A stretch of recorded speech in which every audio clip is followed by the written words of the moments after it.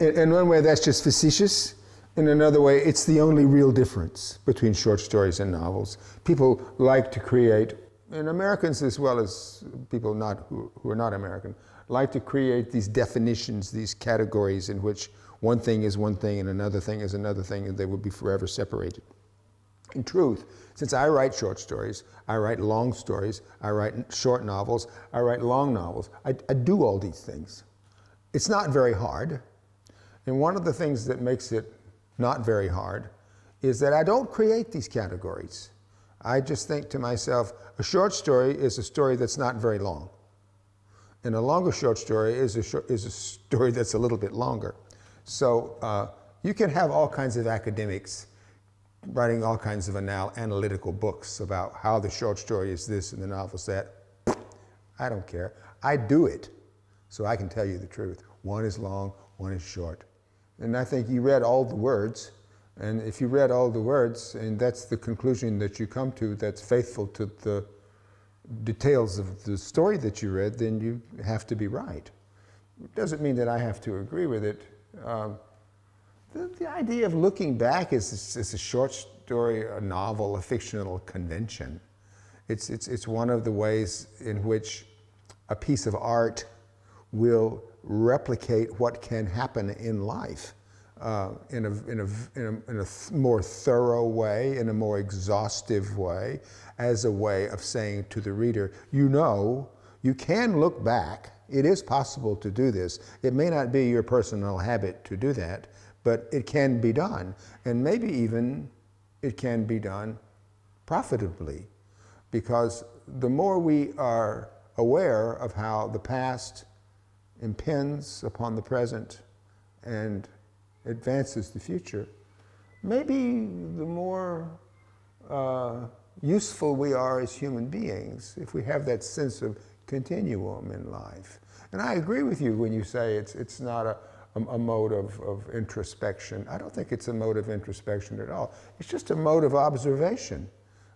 This happened, and now here I am now, and what does that mean as far as the consequences of what will happen next?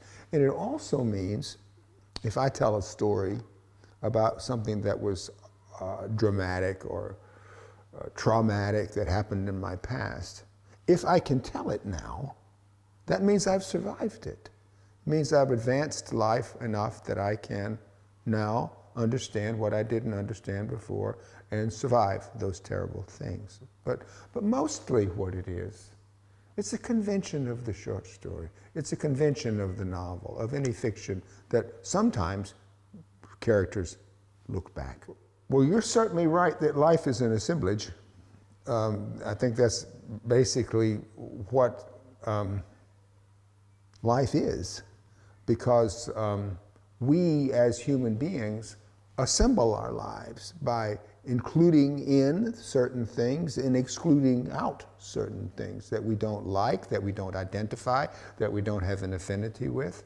And we include into life the things that we do have an affinity with, things that we love, things that we don't love.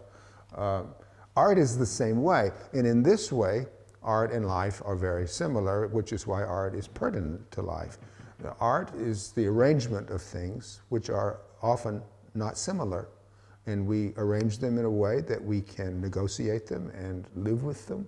And that becomes, that becomes a piece of art, just as is the case that we invent our life. There's a line of Henry James in which Henry James says, Art makes life. And what he means by that is that we draw a circle around certain kinds of experience, and then we are able to observe it, we are able to control it, we are able to tolerate it, and that becomes our life. Well, to himself, to herself, but I don't think art, for the artist who is doing it, has any responsibility of any kind at all. Just do what you want to do. Try to do it in a way that will be useful to someone who sees it or experiences it.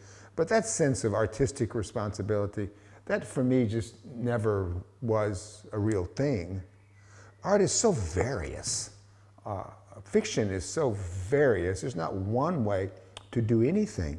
When I wrote the inauguration remarks for the festival the other day, one of the things I said that the festival celebrates, the Festival America celebrates, is the fact that there's not one way to do anything. I like to violate the, the, all of the rules of uh, um, what is what is the term in, in English? Uh, cultural appropriation.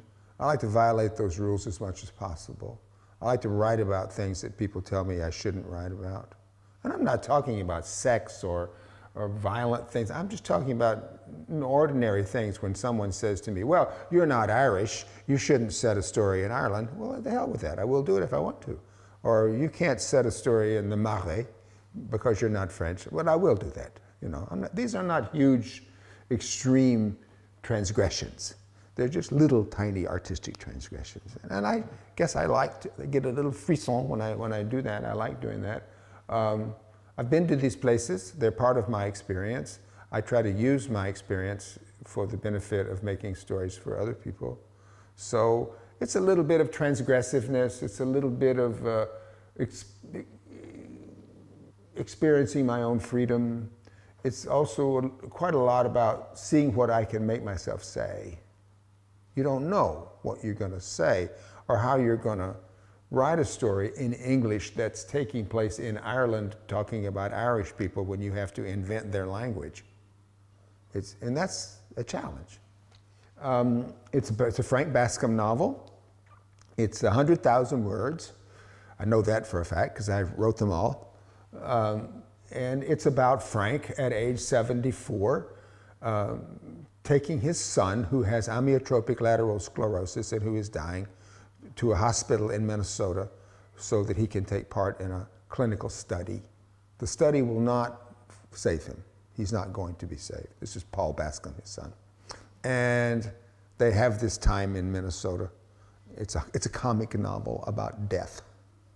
Um, and then they go off to a famous monument in America, in the American West, called Mount Rushmore. Many of you, if you haven't seen Mount Rushmore, you will recognize it because it's where four presidents' faces are chiseled into the side of a wall in South Dakota. It's very funny. It's a very funny thing to have done, a very stupid thing to have done. So it's that. It's, it's, it's, it's about national monuments. It's a political novel about America in 2020. Um, it's funny, although my editor, my poor editor, doesn't think it's very funny, but uh, she, that's her problem. Uh, my wife thinks it's funny. I think it makes me laugh, and it also makes me cry.